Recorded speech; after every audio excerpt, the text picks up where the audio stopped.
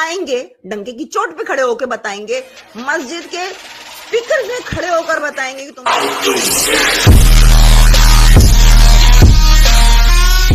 इस वीडियो को like, share और चैनल को सब्सक्राइब करना मत भूलिएगा। इस काम को आगे बढ़ाने और अवेयरनेस फैलाने के लिए मुझे आप लोगों की सपोर्ट की ज़रूरत है। आप पेट्रियन ओनली फैंस या सिंपली पेपैल के थ्रू सपोर्ट कर सकते हैं। लिंक आपको डिस्क्रिप्शन में मिल जाएँगे। आपकी सपोर्ट मेरे लिए बहुत मायने रखती है।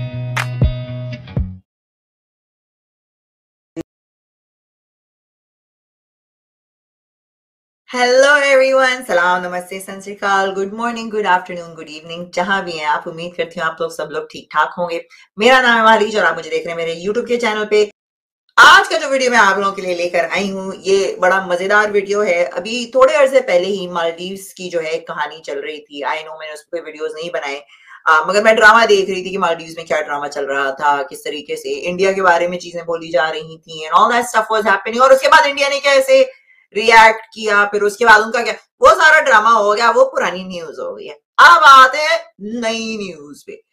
सो so, अपेरेंटली अब बांग्लादेश में भी कुछ होना शुरू हुआ है मुझे नहीं पता मैंने ये वीडियो देखा नहीं है। तो हम चले फाइंड आउट करते हैं कि बांग्लादेश में अब क्या हो रहा है क्या बांग्लादेश भी मालदीव की तरह हरकतें कर रहा है and then they learn from what happened to Maldives and उन्होंने सीखा नहीं कि मालदीव्स के साथ क्या हुआ है किस तरीके से इंडिया ने उनकी ठोक के रख दी थी तो आप why would you do that something like that पर एनीहाउ वीडियो पे जाने से पहले इस वीडियो को लाइक शेयर और इस चैनल को सब्सक्राइब करना मत भूलिएगा गाइस आपकी सपोर्ट से ही तो ये गाड़ी धक्का धक्का धक्का चल रही है। उसके अलावा पेपैल के थ्रू आप सपोर्ट कर सकते हैं सुपर चैट्स के थ्रू भी आप सपोर्ट कर सकते हैं थ्रू आउट दिस वीडियो चलते हैं इस वीडियो की तरफ़।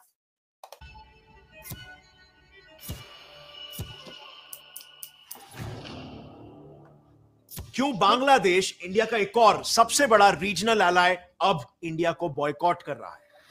यस मालदीव्स के बाद अब बांग्लादेश में hashtag India out hashtag boycott Indian products और हैशटैग बॉयकॉट इंडिया ट्रेंड पर है। यहाँ तक कि हमारे प्रधानमंत्री का भी एक prominent Bangladeshi human right activist ने हाल ही में मज़ाक उड़ाया था। बट यहाँ पर दोगलापन यह है कि सबसे आठ से दस दिन पहले ही बांग्लादेश की पीएम शेख हसीना ने इंडिया को बांग्लादेश का ग्रेट फ्रेंड और नेक्स्ट डोर नेबर कहा था जिस देश के बांग्लादेश के साथ रिलेशंस बहुत अच्छे इनफैक्ट जब मालदीव्स ने इंडियन पीएम का मज़ाक उड़ाया तब बांग्लादेश के फॉरेन मिनिस्टर अब्दुल मोमिन ने मालदीव्स को ओपनली कंडेम भी किया था। This is not acceptable not just this Bangladeshi foreign ministers भी हमेशा इंडिया की तारीफ़ ही करते रहते हैं। We believe you see the we are very proud of India it is because of the leadership of prime minister Modi तो फिर इन 10 दिनों में ऐसा क्या हुआ कि बांग्लादेश के सुर एकदम से बदल गए और वो इंडिया को बॉयकॉट करने लगे। वेल well, इस पूरे फसाड की जड़ में है एक बहुत ही गहरी साजिश जो हमने आपके लिए पूरी तरीके से डिकोड किया है ताकि आपको पूरा मामला समझे। सो so, वीडियो को एंड तक देखना वरना आप आधी अधूरी कहानी ही समझ पाओगे और ब्लेम गेम में फंस जाओगे। लेट्स बिगिन सो 8 जनवरी 2024 को एक famous Bangladeshi Twitter handle revolt ये ट्वीट शेयर करता है। इसमें वो क्लियरली लिखते हैं कि इंडिया बांग्लादेश का दोस्त नहीं है इंडिया को बाहर निकालो। इस पोस्ट के बाद अगले कई दिनों तक ये channel anti India tweets post करते रहता है। इनफैक्ट 18 जनवरी को hashtag boycott Indian products campaign भी यही सेम चैनल शुरू करता है। अब इस रिवोल्ट चैनल का नाम ना याद रखना, क्योंकि एंटी इंडिया कॉन्स्पिरसी से कैसे जुड़ा हुआ है, ये मैं आपको कुछ ही वक्त में बताऊँगा। अब इस रिवोल्ट चैनल के इंडिया आउट कैंपेन को शुरू करते ही कई प्रोमिनेंट बांग्लादेशी भी सिमिलर पोस्ट करके इस कैंपेन में जुड़ने लगे। और इस ट्रेंड में बांग्लादेश के आर्मी के कर्नल से लेकर बड़े बड़े ह्यूमन राइट एक्टिविस्ट तक शामिल हो गए। और फिर कुछ ही दिनों में इन प्रोमिनेंट फेसेस को इस कैंपेन में जुड़ता हुआ देख आम बांग्लादेशी भी इन्फ्लुएंस हो गए और वो इंडिया आउट के ट्वीट करने लगे और इवेंचुअली बांग्लादेश में मालदीव्स की ही तरह ये ट्रेंड करने लग गया। लेकिन जैसे मैंने शुरू में भी कहा था कि कंफ्यूजिंग बात तो ये है कि कुछ ही आठ से दस दिन पहले उनके पीएम ने इंडिया को ग्रेट फ्रेंड बताया था। Well, you know, India is a great friend of Bangladesh. So, India we consider our next door neighbor. और उनके फॉरेन मिनिस्टर ने भी इंडिया के सपोर्ट में मालदीव्स को कंडेम किया था Honorable Prime Minister of India. This is not acceptable. Are you condemning it? Of course we do. So फिर अचानक से ये दोगलापन कहाँ से आ गया? वेल well, इसके लिए समझते हैं कि इंडिया आउट कैंपेन आखिर शुरू कहाँ से और क्यों हुआ? क्योंकि 8 जनवरी 2024 को शेख हसीना जी फोर्थ टर्म के लिए बांग्लादेश की पीएम बनी थी जिसके बाद ऑपोजिशन पार्टी ने उन पर यह आरोप लगाया कि उन्होंने इंडिया की मदद से इलेक्शन को रिग किया। यानी कि उन्होंने इंडिया की मदद लेकर इलेक्शन में घोटाले किए और इस वजह से वो पीएम बनी। इसी का विद्रोह करने के लिए फिर बांग्लादेश की opposition party Bangladeshi nationalist party ने हैशटैग इंडिया आउट कैंपेन चालू कर दिया जिसके बाद एक न्यूज़ रिपोर्ट के अनुसार पिनाकी भट्टाचार्य जो बांग्लादेश के ह्यूमन राइट एक्टिविस्ट और सबसे इंपॉर्टेंटली बीएनपी के सबसे बड़े सपोर्टर है उन्होंने ट्विटर पर इसी बॉयकॉट इंडिया ट्रेंड को और भी ज़्यादा वायरल कर दिया। अब फ्रेंड्स कहानी यहाँ पर खत्म नहीं होती बल्कि यहाँ से तो शुरुआत है। इस कैंपेन के पीछे हाथ है कुछ बहुत ही powerful anti India forces by the way क्या आपको पता है ये कैंपेन बांग्लादेश से नहीं बल्कि लंदन से ऑपरेट किया जा रहा है? और इसे ऑपोजिशन पार्टी बीएनपी के चेयरमैन तारिक रहमान चला रहे थे। यूरेशियन टाइम्स के इन्वेस्टिगेशन रिपोर्ट के हिसाब से, जैसे ही 8 जैन 2024 को शेख हसीना बांग्लादेश के इलेक्शन को जीती, तारिक ने अपने पार्टी मेंबर्स को यह ऑर्डर दिया कि वो बिल्कुल मालदीव्स जैसे ही इंडिया आउट कैंपेन को शुरू करें। अब तारीख के इस ऑर्डर को देते ही तुरंत बीएनपी साइबर विंग एक्टिव हो गई और उन्होंने एंटी इंडिया ट्वीट्स पब्लिश करना शुरू कर दिया। अब याद है मैंने शुरू में बताया था रिवोल्ट इस पेज को याद रखना। सो इसी पेज की बात करें तो रशियन न्यूज़ स्पुटनिक के हिसाब से रिवोल्ट नाम का ये ट्विटर हैंडल कोई और नहीं बल्कि एनडीपी का माउथ पीस ही है। और इसी न्यूज़ रिपोर्ट के मुताबिक तारीख के ऑर्डर्स पर ही इसी पेज ने India out boycott India trend की शुरुआत की। अब क्या आप जानते हो तारीख इंडिया को इतना हेट क्यों करते हैं? वेल well, इसका जवाब उनके फैमिली लिनियज में छुपा हुआ है। तारीख मेजर जनरल जियाउर रहमान का बेटा है जो पाकिस्तानी आर्मी में टॉप पोजीशन पर थे और बांग्लादेश के पहले मिलिट्री डिक्टेटर भी। इनफैक्ट उन्होंने 1965 में इंडिया के खिलाफ वॉर भी लड़ा था जिसके लिए उनको पाकिस्तान गवर्नमेंट ने मेडल देकर ऑनर भी किया था और इसीलिए उनके दिल में इंडिया के लिए हेट शुरू से ही है। सो so, 1978 में जियाउर ने ही बांग्लादेशी नेशनलिस्ट पार्टी बीएनपी बनाई थी। एंड यू नो व्हाट इस पार्टी की हिस्ट्री रही है। इस पार्टी ने हमेशा पावर में आने के लिए ऑपोजिशन पार्टी वालों का मर्डर किया है। दरअसल 1975 में खुद बांग्लादेशी न्यूज़ रिपोर्ट के हिसाब से जियाउर रहमान ने फादर ऑफ़ बांग्लादेश शेख मुजीबुर रहमान का मर्डर किया था और उनका मर्डर करने के बाद जियाउर बांग्लादेश के मिलिट्री डिक्टेटर बने। नाउ क्योंकि जियाउर इंडिया से काफ़ी ज़्यादा हेट करते थे और शेख मुजीबुर इंडिया को अपना सबसे बड़ा एलाय मानते थे, इसीलिए जियाउर ने पावर में आते ही एंटी इंडिया नेरेटिव फैलाना शुरू किया और लोगों में इस्लामिक रेडिकल माइंडसेट डालना शुरू किया। इस रेडिकलाइजेशन के लिए सबसे पहले उन्होंने कॉन्स्टिट्यूशन को अमेंड किया और जहाँ पहले बांग्लादेशी सिटीजन को बंगाली बोलते थे उसे अमेंड यानी चेंज करके उन्होंने बांग्लादेशी टर्म इंट्रोड्यूस किया और उन्हीं के टेन्योर में जो बांग्लादेश एक सेक्युलर देश हुआ करता था वो इस्लामिक रिपब्लिक बन गया। और इसके बाद एज यू कैन इमेजिन इनके टर्म में बांग्लादेशी हिंदूज को वहाँ पर खूब सप्रेस किया गया। And now you'll be shock to know कि अभी तक बीएनपी पार्टी तीन बार पावर में आई है 1991, 1996 और 2001 बट इन तीनों इलेक्शंस में एक कॉमन पैटर्न है। इलेक्शन से एक साल पहले बीएनपी हमेशा से बांग्लादेश में एक एंटी हिंदू प्रोटेस्ट करवाती और ऐसा ही करके उन्होंने तीन बार इलेक्शंस जीते भी है जिनमें से 2001 का एंटी हिंदू मैसेकर काफ़ी दिल दहला देने वाला था। संडे गार्जियन की रिपोर्ट के मुताबिक 2001 में बीएनपी के लीडर जियाउर रहमान की वाइफ खालिदा बेगम और उनके बीएनपी पार्टी वर्कर्स ने 150 दिन का कंटिन्यूस हिंदू मैसेकर करवाया था। और जब इस मैसेकर के इंक्वायरी कमीशन ने रिपोर्ट पब्लिश की उसमें पता चला कि उन 150 दिनों में in total 18,000 anti Hindu incidents हुए थे। जिसमें अनफॉर्चुनेटली एक हज़ार हिंदू औरतों का रेप और 200 औरतों का गैंग रेप हुआ था और करीब पचास हज़ार हिंदू बांग्लादेश छोड़कर इंडिया भाग गए थे। दिस इज़ सो अनफॉर्चुनेट लेकिन ऐसे ही एंटी इंडिया और एंटी हिंदू सेंटिमेंट्स का यूज़ करके बीएनपी बांग्लादेशी मुस्लिम्स को ब्रेन वॉश करके उनके वोट्स अपने साइड करते आ रही है। अब यहाँ पर आपने एक स्ट्रेंज बात नोटिस की। ये तारिक रहमान बीएनपी पार्टी का चेयरमैन है। फिर भी वो लंदन में रहता है और वहीं से पार्टी को संभालता भी क्या आपके दिमाग में ये सवाल है वेल इसके पीछे ना कुछ काफ़ी कंसर्निंग रीजंस है। सो so, जैसे मैंने बताया बीएनपी पार्टी लास्ट इलेक्शन 2001 में जीती थी और उसके बाद से शेख हसीना जी वहाँ पर इलेक्शंस जीतते आ रही ऐसा इसीलिए क्योंकि शेख हसीना जी ने जब से बांग्लादेश की पॉलिटिक्स में एंट्री ली है तब से वो बांग्लादेश को पाकिस्तान की तरह रेडिकलाइजेशन के बजाय डेवलपमेंट के रास्ते पर लेके जा रही है। और इससे बांग्लादेशी इकोनॉमी में क्लियर इंप्रूवमेंट्स भी दिख रहे हैं। और शेख हसीना जी. के इसी अप्रोच की वजह से बीएनपी की पॉपुलैरिटी कम होने लगी थी। इस गिरती पॉपुलैरिटी को देखते हुए 2004 में तारिक ने हसीना जी पर एक असैसिनेशन अटैक प्लान किया। हुआ कुछ यूँ 21 अगस्त 2004 में शेख हसीना जी बांग्लादेश के एक सिटी में एंटी टेररिज्म को लेकर स्पीच दे रही थी। तभी तारीख और उसके 19 साथियों ने हसीना पर कई हैंड ग्रेनेड्स फेंके। इस अटैक में हसीना जी इंज्योर हो गई और उन्हें पार्शियल हेयरिंग लॉस हो गया। पर वो इस अटैक से जैसे तैसे करके बच गई। लेकिन हम्म। अनफॉर्चुनेटली इसमें उनके पार्टी के 24 लोग मारे गए और लगभग 500 लोग बुरी तरह से घायल हो गए। इस टेररिस्ट अटैक के लिए ढाका कोर्ट ने यह वर्डिक दिया कि तारिक ने हरकत उल जिहाद अल इस्लामी इस टेररिस्ट ऑर्गेनाइजेशन के साथ मिलकर ये पूरा टेररिस्ट अटैक प्लान किया था और तारीख ही इस अटैक का मास्टरमाइंड था। और इस क्राइम के लिए कोर्ट ने तारीख को लाइफ इम्प्रिजनमेंट की भी ये सजा। डिक्लेयर होते ही तारिक लंदन भाग। इनफैक्ट इसी टेररिस्ट अटैक के बाद यूएस कोर्ट ने बांग्लादेश नेशनलिस्ट पार्टी को टेररिस्ट ऑर्गेनाइजेशन डिक्लेयर कर दी। लेकिन तब से लेकर आज तक तारिक लंदन से पार्टी को संभाल रहा है।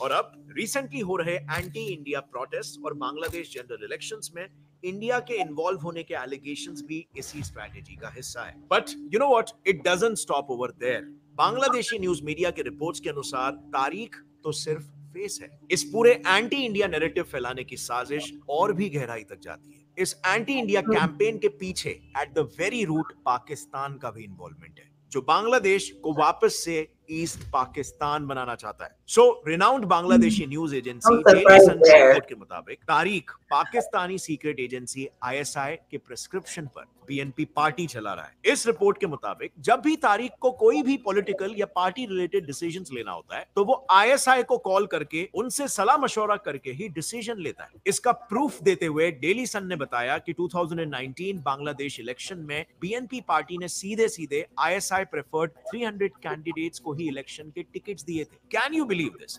directly ISI उनके कैंडिडेट्स चुनती है।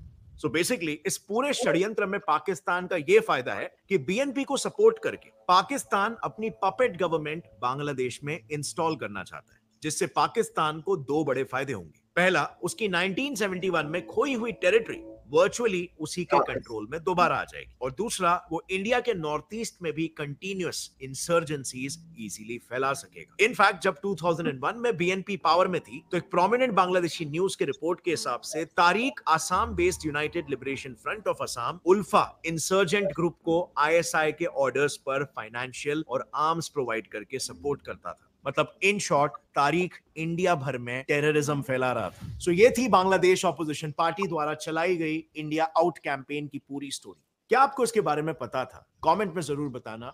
बेसिकली इस वीडियो से मुझे ये no कम्युनिकेट करना था इससे हम साफ़ समझ सकते हैं कि हमारे नेबरहुड कंट्रीज़ में फ्रेंडली सरकार होना हमारे देश की नेशनल सिक्योरिटी के लिए कितना इंपॉर्टेंट है। And my personal opinion is हमारे नेशनल सिक्योरिटी के लिए हमें उन देशों की इलेक्शन प्रोसीजर में अगर इन्वॉल्व भी होना पड़े तब भी इसमें कोई गलत बात नहीं है। इनफैक्ट ये बात हमारे Kautilya also known as Chanakya ji ने अर्थशास्त्र बुक में भी कही है हज़ारों साल पहले। सो so, इस पर आपका क्या ओपिनियन है? नीचे कमेंट्स में ज़रूर बताएँ right. सीरियसली मुझको नहीं पता था। आई डिडंट नो कि क्या होने वाला था क्या हो रहा है क्या नहीं हो रहा है। बट वाह ये तो बड़ी गहराई में गए भैया बड़ी गहराई में गए मगर आई एम नॉट सरप्राइज़ कहीं भी टेररिज्म हो कहीं भी कुछ होता है वहाँ पे एंड में जाकर ना सुरंग के अंदर घुस के जब आप निकल के देखते हो ना एट दी एंड कहीं ना कोई पाकिस्तानी ज़रूरी निकलता है उसमें। आई डोंट नो ये क्या है क्या कीड़ा है but it always is there अगर मैं गलत बोल रही हूँ तो मुझे कमेंट सेक्शन में बताना। आप at the end of the tunnel आपको कोई ना कोई पाकिस्तानी निकलता है वहाँ से। Um, सो so, जैसे कि इन्होंने कहा कि ऑब्वियसली पाकिस्तान के फ़ायदे हैं इसमें if they do take over they do want it back Pakistan तो कश्मीर भी चाहता है पाकिस्तान तो भी चाहता है वो तो गजवाए हिंद भी करेंगे और वो सब कुछ लेंगे वो सब कुछ ले लेंगे। पाकिस्तान इंडिया तो छोड़ो ये तो चाहते हैं पूरा पूरी दुनिया इनकी होगी right that's what they believe in in in religion if you can say that right? So internet का जमाना है, इसके बारे में मैं आपको कुछ बोलना चाहूँगी राइट सो अब मैंने पहले भी एक बात कही थी कि वी आर डमिंग डाउन हमारी जो सोसाइटीज हैं, उनको हम बेवकूफ़ बनाना चाह रहे हैं कंट्रोल करना चाह रहे हैं। और आप किस तरीके से लोगों को कंट्रोल कर रहे हो? आप कर रहे हो थ्रू दी इंटरनेट लोग इंटरनेट पे फोनों पे टैबलेट्स पे एडिक्टेड हैं। वो चीज़ें देख रहे होते हैं और जो चीज़ वो देखेंगे वही चीज़ उनको ज़्यादा से ज़्यादा से ज़्यादा दिखाई जाती है। जो चीज़ें मैं वॉच कर रही होती हूँ मुझे सिर्फ़ एक्स मुसलमानों के ही वीडियो दिखते हैं। कोई और चीज़ दिखती ही नहीं है यूट्यूब पे। सीरियसली मेरी बेटी कहती है मुझे साइन आउट कर दो तुम्हारे सारे जो बेकार वीडियोज़ है ना वो हर वक्त मुझको दिखाए जाते हैं। तो एनी um, जो चीज़ वो है और आपका नेरेटिव जितना स्ट्रांग होगा तो और कितने अच्छी तरीके से आप बेच लेते हैं कितने लोगों को it's all about selling your narrative अगर लोग उसके साथ ज़्यादा जुड़ेंगे एंड इट विल अफेक्ट और वो उस तरीके से लोगों की डायरेक्शन उस तरफ़ जाएगी। अब यही चीज़ कही गई थी कि यूएस के जो इलेक्शन हो रहे थे, कि वो भी रेट किए थे और उसमें फेसबुक इन्वॉल्व था और इसी हो सकता है। इट इज़ नॉट पॉसिबल कि नहीं हो सकता है। आप टेक कंपनीज़ के लोगों को पैसे देकर कैंपेन चलाते हो। आप ऐसे ही कैंपेन चला सकते हो। यू नो फेसबुक पे अगर मैं बैठूं तो मैं भी एडवर्टाइज करके अपने आप को फीमेल प्रॉफिट की रिलीजन जो है प्रमोट कर सकती हूँ। Nobody stopping me from doing that right अब वो अलग बात है कि मैं फेसबुक के किसी अंदर के बंदे को पकड़ूं और कहूँगी, भाई तू अपना एल्गोरिदम ऐसा सेट करो कि मेरा ये वीडियो जो है वो हर जगह जाए और दूसरे का जो वीडियो है वो कम हो जाए। ये हो सकता है it is very much possible now I don't know कि किस तरीके से इंडिया uh, सपोर्ट कर रहा था मगर मैंने ये एक चीज़ देखी है जैसे कि जब जस्टिन ट्रूडो यहाँ पे इलेक्शन लड़ रहा होता है या जब फ्रांस में मैक्रॉन इलेक्शन लड़ता है तो हमारा ओबामा जो है वहाँ से बैठकर उनको प्रमोट करते हैं। वो कहते हैं ओ we are promoting this in this in this candidate और we are promoting the other candidate right they always wish them the best अपने अपने कैंडिडेट सारे ये प्राइम मिनिस्टर्स जो है ये लोग या प्रेसिडेंट जो होते हैं वो बताते हैं तो अगर इंडिया में किसी की प्रेफरेंस है अगर मोदी जी कहते हैं कि भाई ये जो अभी रूलिंग पार्टी की है ये यू नो क्या नाम है हसीना जी जो है इनको मैं सपोर्ट करता हूँ तो उसमें बुरी बात क्या everybody does that everybody does that you know so उसमें मुझे तो इतना कोई वो बड़ा वो नहीं लग रहा है मगर रिलीजन को लेकर यूज़ किया जाता है गद्दी पे बैठने के लिए। This is something we have seen जो जो ये चीज़ें बातें बता रहे थे it was just like Pakistan just like Pakistan जिस तरह से जयाउलक आया, जयाउलक ने आकर, जयाउलक से पहले भुट्टो ने भी थोड़ी बहुत कर दी थी पाकिस्तान की गंदगी। स्टार्ट कर दी थी, शुरू हो गया था वो मुल्लाओं को प्लीज़ करना। बट देन जयाउलक केम और उसे सत्यानाश ही कर दिया राइट सेक्युलरिज्म या अभाड़ में और पाकिस्तान का हाल आप देख लें क्या हो रहा है। वो तो वही बात है, क्योंकि the person that is been ruling Bangladesh और बांग्लादेश ने तरक्की की है उनके under right it's just something कि इट्स नॉट इट्स नॉट कोई बनी बनाई कहानी थोड़ी है जब हम लोग कहते थे ना तुम एक टके की नहीं हो एक टके की नहीं हो तुम हाय बांग्लादेश का जो टका था ना वो आपका बेहतर हो गया आपके पाकिस्तान के रुपए से तो आप you know you just see कि किस तरीके से चीज़ें जा रही हैं बट एनीवेज ये जो ट्रेंड्स वगैरह स्टार्ट होते हैं it is very easy to do that अगर आप लोगों को जानते हो, और इसी तरीके से फेक न्यूज़ भी फैलाई जाती है you know and there you find out it is fake news and stuff like I said के इंटरनेट पे देखकर बात करनी है, देख के करा करें शेयर कि भाई क्या चीज़ है, क्या नहीं हो रहा है, क्या नहीं हो रहा है व्हाट इज़ हैपनिंग और कभी कभार ऐसी होती है, मैंने ट्वीट देखी है जो पता नहीं कौन सी रैंडम अकाउंट से छोटी सी स्टार्ट होती है एंड दे बिकम ह्यूज बड़े बड़े पॉलिटिशियंस बड़े बड़े लोग उसको रीट्वीट कर रहे होते हैं, बाद में पता चलता है कोई था ही नहीं, कुछ था ही नहीं। वही होता है खोदा पहाड़ निकला चूहा।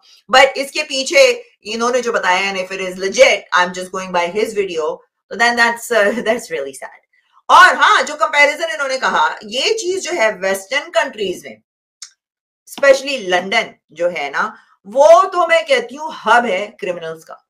क्योंकि जिस मुल्क में जितने क्रिमिनल्स होते हैं वांटेड हैं, वो सारे जाकर कहा छुपते हैं, वो जाके छुपते हैं लंदन में। अल्ताफ हुसैन नवाज़ शरीफ ये सारे पॉलिटिशियंस इमरान खान इन सब लोगों का हाइड आउट जो है वो इंग्लैंड में लंदन में है क्योंकि उनको चाहिए पैसा। तो वो इन सबको रेफ्यूज देते हैं।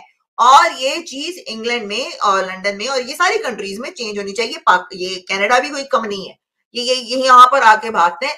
इन लोगों को भेजना चाहिए पकड़ पकड़ कर। एंड आई थिंक मुझे तो जहाँ तक याद है I don't know but these countries do have some kind of treaty या some kind of commitment with each other जहाँ से लेकर आते हैं लोगों को, क्योंकि कनाडा का एक बंदा था who was wanted and he went to Europe अब कनाडा यूरोप के अंदर बीच में वो है ट्रीटी एंड देन वहाँ पे यूरोप में जाकर उसको अरेस्ट किया और उसको यहाँ पे भेजा था। तो I am kind of curious कि ये चीज़ आई गेस नहीं है, वरना तो अल्ताफ हुसैन को और ये सारे लोगों को जो भागे हुए हैं, उनको क्रिमिनल्स को उठा के लाया जाता राइट तो I think this is very necessary ये करना चाहिए क्योंकि मैं कितने पाकिस्तानी यहाँ पर जो है मोर्गेज का फ्रॉड लॉयर फ्रॉड करके पूरे लोन्स लेकर बैंक करके भाग गए पाकिस्तान में बैठे हुए। अरे वो एक मिसेस पाकिस्तान थी उसने पता नहीं कितने मिलियन डॉलर्स का फ्रॉड किया था यहाँ यू, यूएस में अब वो पाकिस्तान में बैठी है और पता भी कहाँ बैठी है। तो उसको पकड़ के लेकर आना चाहिए नहीं कि नहीं right I think there should be some kind of treaty some kind of you know thing between the countries ताकि वो जो है, इन ऐसे क्रिमिनल्स को पकड़ के ना जेल में डाला जाए। In specially this guy committed murder how is he openly running in England this is just again you know और अल्ताफ हुसैन की तरह, अल्ताफ हुसैन को, यानी उसकी आवाज़ सुनने के लिए हज़ारों लोग बैठे होते थे। एक तो लोग इतने पागल कहाँ से आ जाते मुझको तो नहीं सुनते इतने सारे लोग। यार, मैंने भी अपनी कल्ट बनानी है। मेरे को भी सुना करो तुम लोग इतने सारे लोग। वो वहाँ से बैठ के चूतिया बना रहे एक तो होता है ना, आप घर में बैठ के चूतिया बनाते हो। ना भैया, ना, बाहर ओवरसीज सात समुद्र पार बैठ के चूतिया बना। And this is the same thing और दूसरी पार्टी को बांग्लादेश में लोगों को स्टैंड लेना चाहिए इसमें कि अगर आप यहाँ बैठे ही नहीं हो तो how come this party is still running कुछ ना कुछ करना तो पड़ेगा यार। मुझे बना दो। मैं मैं ठीक करती हूँ लितर लगा लगा के पाकिस्तान में या बांग्लादेश में। पाकिस्तान में भी ना एक स्ट्रॉन्ग फीमेल की ज़रूरत है, उनको चित्र लगा लगा कर ना ठीक करे इनको। एनीवेज गाइस मुझको बताइएगा कि आपको क्या पता था कि ये क्या हो रहा है, क्या नहीं हो रहा है? क्योंकि मेरे को तो पता ही नहीं था। एक लाइट बल्ब जला है। कमेंट सेक्शन में ये बताइएगा कि आपको कैसा लगा आज का वीडियो और मुझे ये बताइए और कौन से वीडियोस हैं जिसमें मुझे रिव्यू करना चाहिए, जो आप देखना चाहोगे, जो मज़ेदार वीडियोस हो ना? मौलवियों के वीडियोस हो ना, वो मुझको ज़रूर भेजा करो। मैं उनको रोस्ट करके खाने चाहती हाँ। उसके अलावा इस वीडियो को लाइक शेयर और इस चैनल को सब्सक्राइब करना मत भूलना। And you can also support now by super chat during this video after this video आप थैंक्स का बटन है, उसको दबा के सपोर्ट कर सकते हैं मेंबरशिप ज्वाइन कर सकते हैं यूट्यूब की, या पेट्रियन ओनली फैंस या पेपाल के थ्रू आप सिंपली मुझको पैसे भेज सकते हैं। हमारे पास पेटीएम का भी बंदोबस्त है भैया, सारे बंदोबस्त किए हुए मैंने। इतने लिंक्स बनाए, इतने इतने अकाउंट्स बनाए, मुझे किसी का पासवर्ड भी नहीं याद रहता है। ठीक है ना? तो एनी हाउ आई होप कि आपको वीडियो पसंद आया होगा। पसंद आया तो लाइक और शेयर मार के ना आगे निकल जाने का है बेडू। मिलते हैं आपसे नेक्स्ट वीडियो में। तब तक के बाय के थ्रू सपोर्ट कर सकते हैं। लिंक आपको डिस्क्रिप्शन में मिल जाएँगे। आपकी सपोर्ट मेरे लिए बहुत मायने रखती है।